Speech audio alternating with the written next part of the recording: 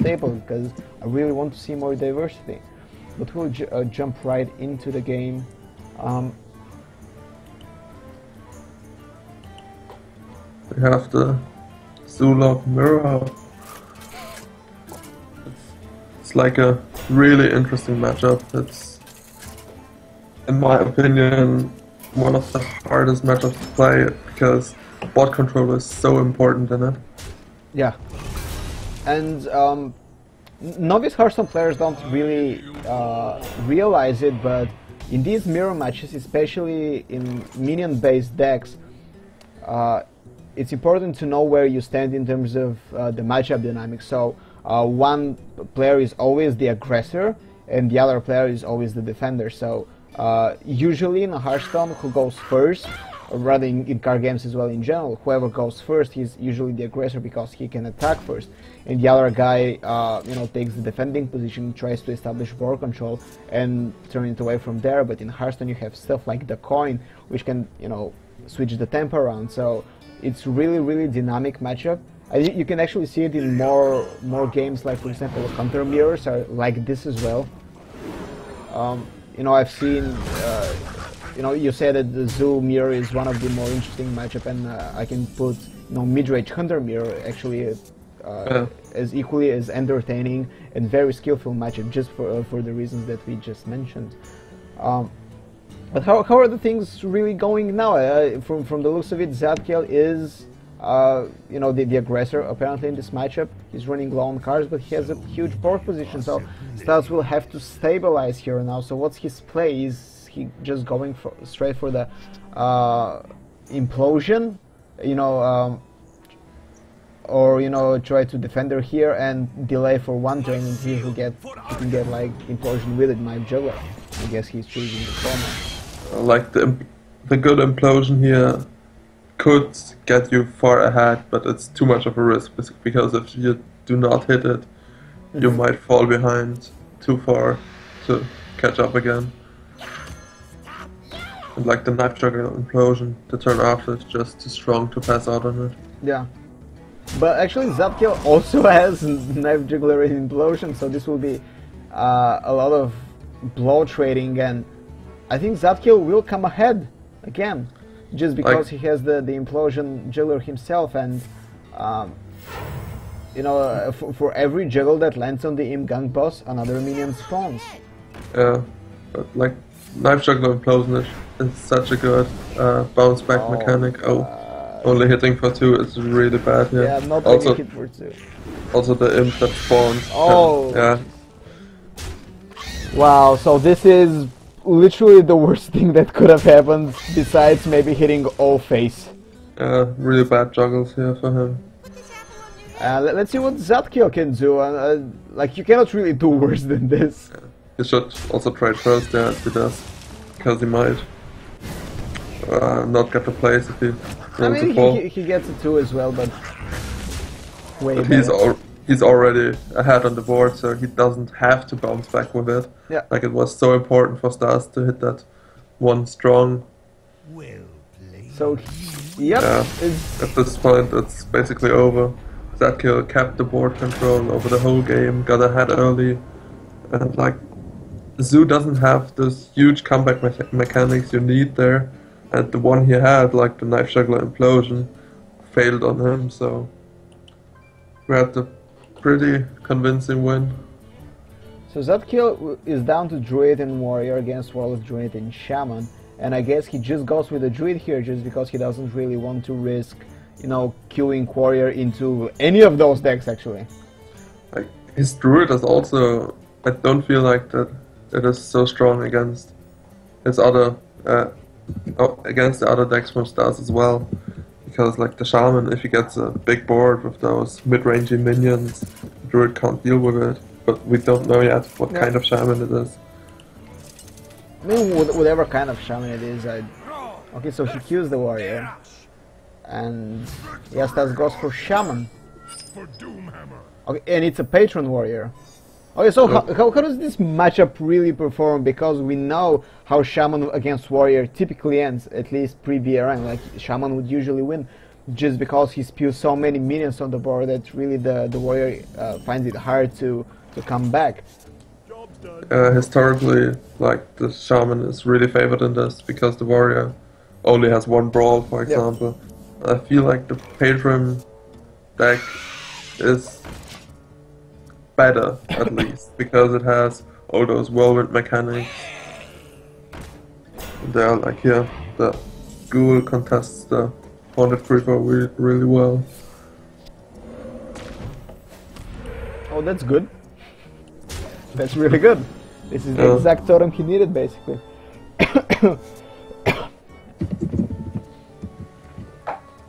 so uh, we've actually seen a lot of patron warriors in recent tournaments. I mean, uh, in DreamHack Bucharest, we mentioned it uh, earlier in the broadcast. Uh, we've seen a lot of patron warriors in it, and this is one of the highest level of competition, not just some random invitational. And uh, I think it, it was Forsen who said it's good to say we don't know what type of warrior he's playing, because previously it was just control warrior, and the, even the control warriors didn't really vary in style. It was, you know, one or two list maximum, and the, the variations were minor. But you know, I'm really excited to see a new, like entirely new uh, spec of warrior. With I think it makes the games that much more interesting. And it's still not really figured out what's the best list for it Yeah. and how to play it perfectly. And we've seen so many misplays. Uh, uh, people are comparing comparing it to rogue decks because you really need to know how much damage you have and how much stuff you can play on each turn, and you have really uh, you have to plan ahead really you know several turns ahead. Yeah. It's like people, or for example, person who played it a lot, compared it to the old Miracle Rogue, Yep. like Exactly. on that level. So, so he will get a Taurus in here, but uh, and it's already really good. These are the free whirlwinds. Free whirlwinds, man, are amazing, especially Yeah. against shaman. I mean, you can do so much damage. Basically, clear the board if it wasn't for this, uh, you know, healing totem and defender of Argus. But Emperor is really what makes the Patron Warrior really strong. Uh, yeah. And also against the Shaman, typically they have many low minions on the board, so he can get like a good Patron turn. But with the Flame Tank, he kind of blocks it. Like if he would have kept the Haunted Creeper there uh, without the buff, he would have such a good Patron turn here. uh, the, the big problem is these three mana, uh, three health minions, which are actually outside the range of the double whirlwind.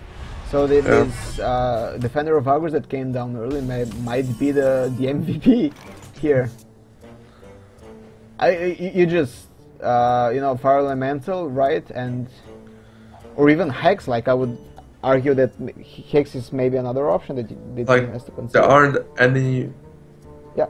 Really better hex targets. Mhm. Yeah. So, and he's so far ahead that he has to pressure, and the hex would just give him even more. But he still gets a good clear with the fire elemental as well, and can keep the pressure up. I think it's really hard for the warrior here. Oh. And there, he, at least now he can go for the for a good patron turn. And I think he should be able to bounce back with this because the spiders who spawn are also can also get get get killed. Yeah, the, the problem is he doesn't really have a commanding shout. This would have been, this would have made it so much, uh, you know, more amazing turn, like board He should well yeah, he should whirlwind first before he attacks. Like at least he has the battle rage to also Yep. draw a lot of cards. Like this is his comeback in this matchup for now. Okay, so he'll draw so many cards here. Uh, four cards for one mana. It's pretty good deal. Like I want this on on my freeze mage. Probably not gonna happen anytime soon, but yeah, he- He's starting to trade and gets even more patrons. Everyone is slowly getting in here. and the rope is burning. That's also a problem many mentioned with this deck. The animations are partially so slow. Like we saw, I think it was Alash, Yeah, getting really wrecked by. You, you, slow saw the, you saw the unfortunate boom bots, right? I mean, Yeah, uh, exactly. this has to suck, and he was pretty upset, but uh, understandably so. What do you do then now as the shaman?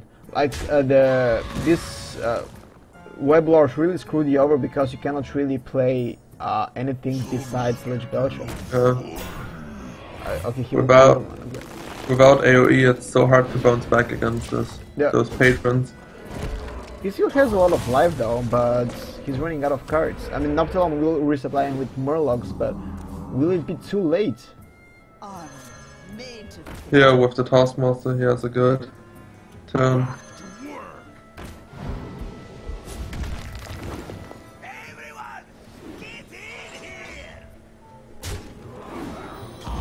Think the warrior has everything he needs to deal with the shaman and can get in a good position to bounce back into this game now. Yeah, he'll even clear the new. Like, do you?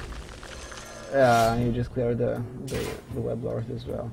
Yeah, it, from the shaman's, uh, from the warrior's perspective, you have to kill everything on the Mhm. board from shaman because there's always the threat of like a flame tongue totem or something like that.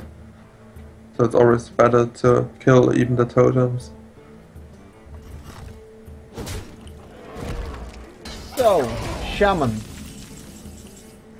Wow, it's really don't see him coming back from this. Like, there's no lightning storm.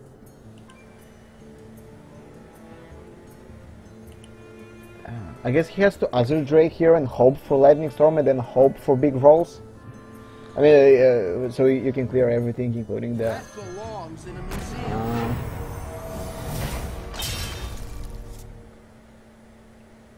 So it's not over yet, but he has to start clearing stuff. The problem is you cannot really clear these these patrons. Like you can clear one of them. The problem about clearing the patrons is you need to clear them exactly, Yeah. or else they're just spawning more and more patrons.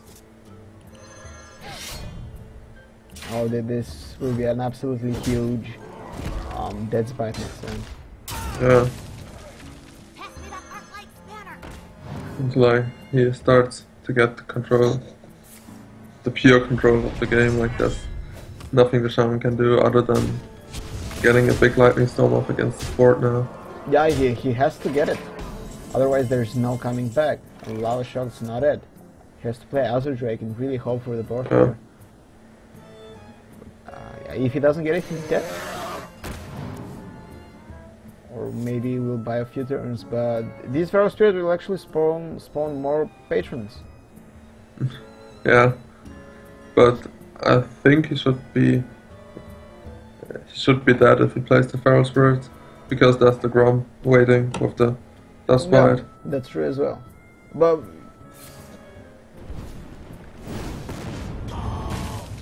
So that seems like he doesn't decide. Oh, yeah, that was a misplay. yeah, this was a big misplay. Like he Could have saved. an extra, like he could have snuck in a flame tongue totem. Yeah. Uh, so this will be game. Uh, and Zadkiel goes up 2-0 now. Uh, he's really, you know, looking uh, favorite to take the series. Patron Warrior seemed to do really good against Shaman here. Now we know. So, uh, Warrior and Warlock locked for Zadkiel. There's Druid against Warlock, Druid, Shaman. So if you're Staz, you just kill the zoo, right? Yeah, we know it is the zoo because Yeah. we just saw it already, and No, uh, in, in I would actually leave the the druid versus the druid mirror last, I guess. Like I would try to win uh, with shaman in game four if I manage to come back with the zoo. Uh, just because I, you know, for, for the deciding series, uh, you know, why not just, you know, I have a mirror there and you try to.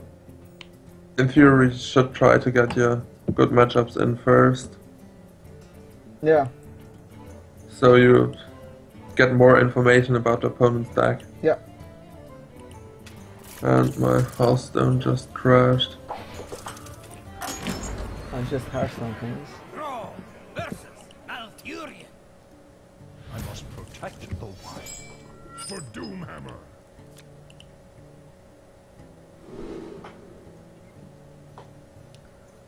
Yeah, it's not going to be Zoo versus Druid, it's going to be Shaman versus Druid, so not as we anticipated. But I guess it's... I, I think the Shaman has decent chance, chances as well, just because it's also very minion-based deck, and really the only way Druid can come back is with a good swipe, swipe and the swipe doesn't really clear totems, right? And higher health minions, and... Um, Like one swipe alone yeah. isn't that strong at all against the shaman. Like you, they most likely have two or three health minions you have to deal with, so the swipe alone isn't that strong. If you get a, for example, a Drake and swipe, it is really strong though and can like bounce you back into the game. Yeah, I remember when Ju- uh, shamans were common uh, in tournaments, and while like many many months ago, uh, a lot of druids actually played uh, Talon, uh, I mean Thalnos for for the Yeah. swipe, just because you need to clear these two health minions, and this is your only way. Like if you get any leeway to the shaman, you just die. There's so much damage coming, you know. Uh, there's interactions with defender or target. Some shamans al- also run bloodlust, so is the threat as well. But Yeah, the druid has a really good starting curve here. Yeah, this is one thing going on for him. Also, an interesting tech in the shaman is the Black Knight. Can be, can get really strong. It will at least get the first body of, of a Belcher. And he has the coin as well, so he can directly counter the Belcher uh, when, Yeah. when it's played on turn 5, because this will be the turn 5 of the Druid, 100%. So Staz is thinking how, how he wants to tackle this. I guess, you know, trying to Rock Biter here and clear up is the way to go. He should start dealing with the board. There's no way he can leave a board like that up. Because the druid will just develop even further Yeah. with those mid-range minions and get the pressure in. The, the question is, do you want to Earth Shock here and then clear it, uh, you know, the, the, the Piloted Shredder, or do you want to leave Earth Shock for stuff like Sludge Belcher? But I guess this is the place he has Black Knight already. Okay, so he's not going to use the Rock Biter, interesting. Okay. Yeah, he puts out the flame, uh, flame tongue totem. And the Just- Shade has to come out now. Yeah. Flame Fang is just too strong to leave it, and like on 4 HP, the Shade should also be like safe. So it's okay to reveal it here. And as we talked, as we said earlier, this Black Knight is getting at least some value here.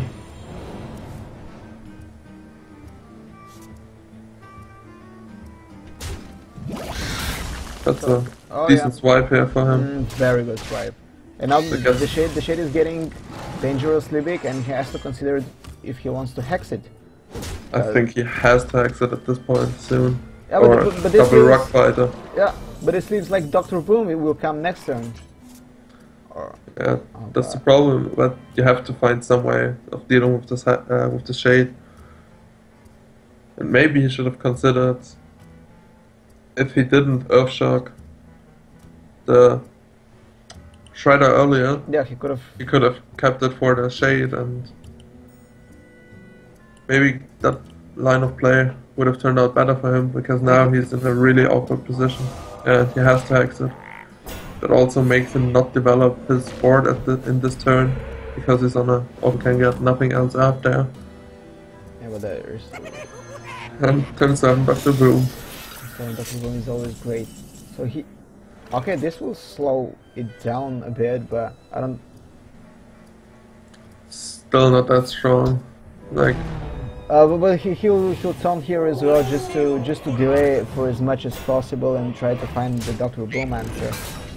like bots like that are the thing which makes shaman strong against druid because like how does a druid deal with a one free minion?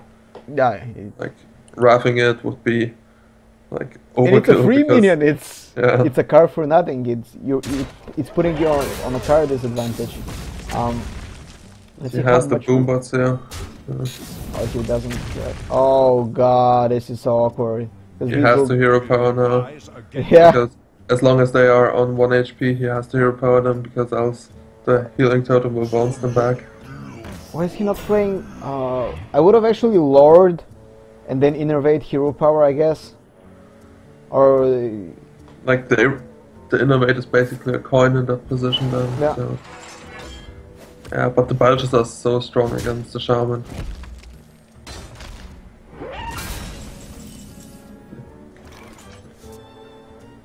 And again here, at least he has the fire elemental turn. But he goes for the rock biter. I kinda like developing the fire elemental because it's perfectly on curve. The other play would be rock biter and sludge belcher, but the sludge belcher just gets straight in with the Doctor Boom yeah, again. I don't like this at all. The one HP Doctor Boom stays alive, and the shaman really has nothing to deal with it, and he will most likely fire elemental it next turn.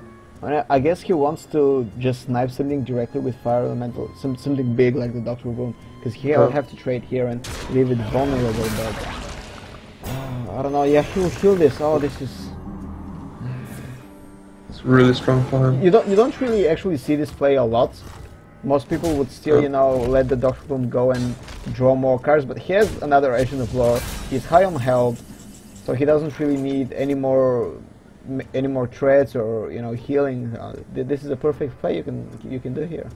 The only thing you would think about is how, is getting closer to the combo at this point because you kind of you don't have the, you have quite good minions, but if the druid gets too far ahead, Yeah. uh, yeah. So he withdrawing the only thing would be drawing into combo to finish the game, like soon, and Staz already thought he was bad just because of the combo, so he kind of knew it. That's something you always have to play around when playing against the druid. Uh, Still no combo in hand, but he will trade the Fire Elemental here and leave a pretty empty board for the Shaman. And Shaman is pretty much in big trouble, and his only play here is Neptune into Feral Spirit, I guess. Um, Yeah. you, you need to start developing this board basically, or But it's still not a bad board for him. no, no, no, not by a long shot. Like he, he, if he actually runs a Bloodlust, he can actually just kill the Druid uh, if he draws it on time. He, he'll he'll have to lose this Neptune here to the big game hunter, but still, you know, the uh, the Druid will have to go into so much taunts.